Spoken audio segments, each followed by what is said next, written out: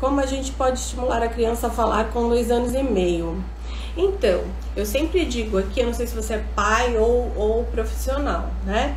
É, se com dois anos e meio a criança não tá falando, tá atrasadíssima, já era para estar tá trocando turno, alguns turnos. Então, o que eu vou te orientar, não vou te dar uma dica para você estimular a criança a falar, vou falar para você procurar uma avaliação fonoaudiológica, porque já tem um atraso importante aí tá? E aí, atrasos, a gente precisa saber a motivação, porque pode ser um transtorno do neurodesenvolvimento importante que pode gerar outros atrasos aí e aí não pode perder tempo, tem que saber por, o que que é para poder estimular da forma correta, tá?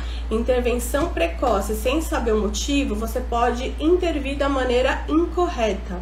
A gente só é, pode pensar em intervenção precoce é, apesar do diagnóstico, gente, uma coisa que eu não falei aqui que é muito importante.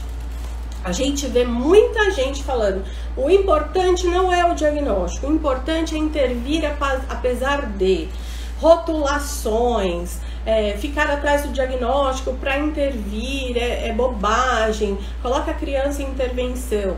Ok, importante, mas qual intervenção?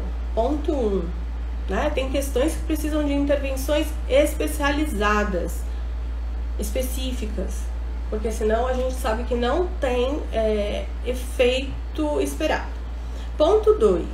Quem depende de convênio de saúde, seguro saúde, sabe muito bem que sem um diagnóstico vocês não recebem os benefícios é, esperados, né? Vamos pensar somente em questão de reembolso. Então, se você tem o CID X, você tem direito a uma consulta por semana. Se você tem o CID-Y, você tem direito a cinco consultas por semana. Se você tem o CID-Z, você tem direito a quantas consultas o médico disser que precisa. Né? Vamos pensar no, no, autismo, por exemplo, que tem terapias que é, são 15 horas por semana. Então, sem o diagnóstico F84, a criança não vai ter liberada 15 horas por semana. Então, vejam a importância do diagnóstico. Ah, mas não fechou, vamos intervir. Quem é que tem é, dinheiro para pagar? Se você não tem o diagnóstico, como é que você vai ter os seus benefícios é, do convênio liberado? Se você depende é, também dos benefícios sociais, né? Tem o LOAS, que é o benefício que as crianças com autismo recebem. Se você não tem o diagnóstico fechado, você não tem nem o seu benefício social que garante algumas coisinhas ali para a criança. Então, o, o diagnóstico ele não é só um rótulo, ele é também uma forma de entender é, as dificuldades, né? Então, sabe, é, eu, eu gosto de utilizar a seguinte metáfora, né?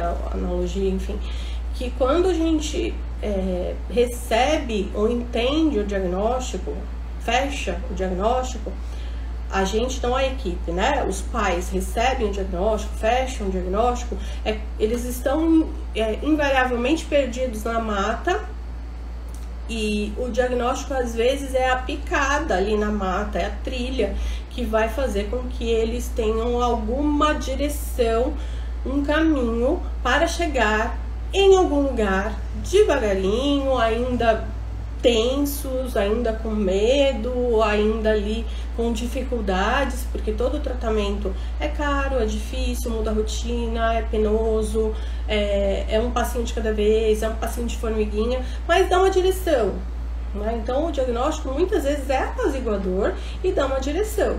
Não saber o que está acontecendo com a criança e fazer o tratamento sem saber isso, muitas vezes causa mais problemas do que é, benefícios.